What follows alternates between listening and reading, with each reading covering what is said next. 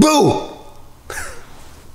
I'm sorry, that's so stupid. It is your host with the most, Bush Boy 7th Street, and we brought out the ghillie suit today to celebrate the release of Infinite Warfare multiplayer gameplay. Finally, it took till September to show some multiplayer action, and it's very weird considering Battlefield 1 has an open beta and Infinite Warfare is just releasing multiplayer gameplay. Battlefield's like, bitch, I'm, we're confident here, and it really did. It does show the confident levels between the two uh, studios. But we finally got to see some Infinite Warfare gameplay. I'm going to give my thoughts and opinions on it.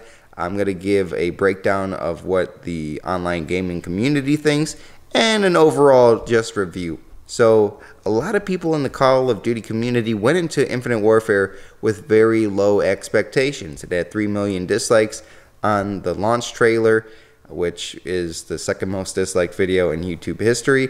And uh, those expectations still weren't met from a lot of people in the COD community because of the simple fact they're calling it a Black Ops 3 DLC.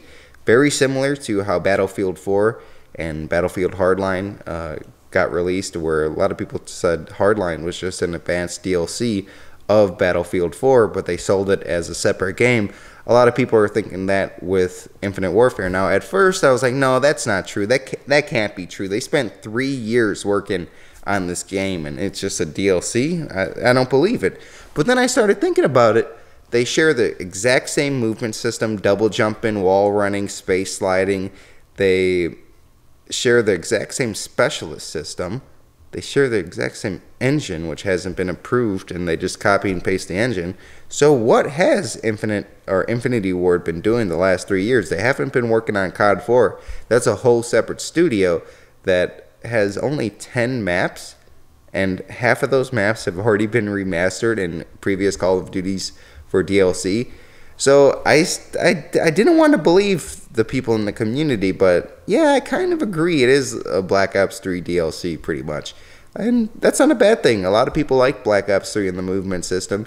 I wasn't a huge fan, but what really got me excited, I don't want to be negative here, but what, what got me excited is the fact that with this adrenaline jumping, uh, you know, Adderall, double jumping, space sliding, all, all, this advanced movement, it will work better on an Infinity Ward game than it does on Black Ops 3 for the simple fact connection is so much better on Infinity Infinity Ward games. They have Call of Duty Ghost, which the only good thing about that game to me was the connection. It felt pure, it felt solid, and I didn't feel like I got bullshitted. Half my deaths in Black Ops 3, I'm like, that didn't happen. That wasn't on my kill cam. Like I watched the kill cam. No, we're we're on different universes. We're on different dimensions.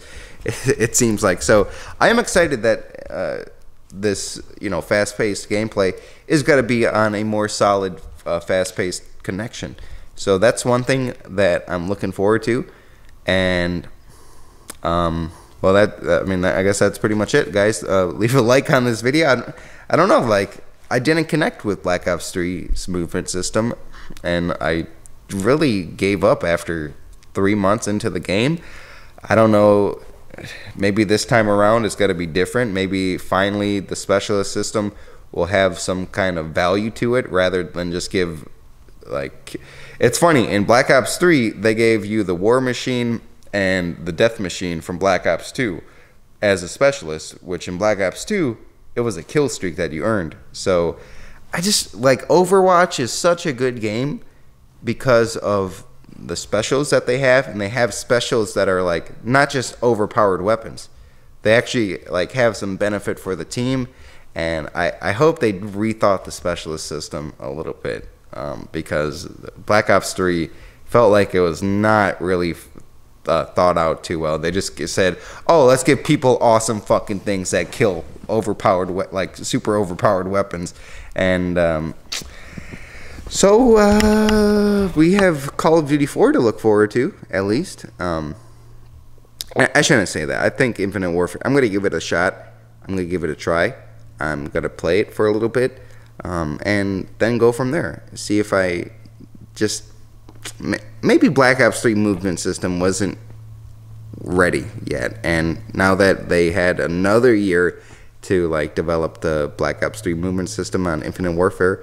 Maybe this year it'll be different. So um, let's hope. That's all we can really hope for at this point. So thank you guys. I hope you enjoyed the ghillie suit. I think I'm going to do a few silly videos. Silly ghillie, you feel me? Um, but other than that, I'll see you later. Bye.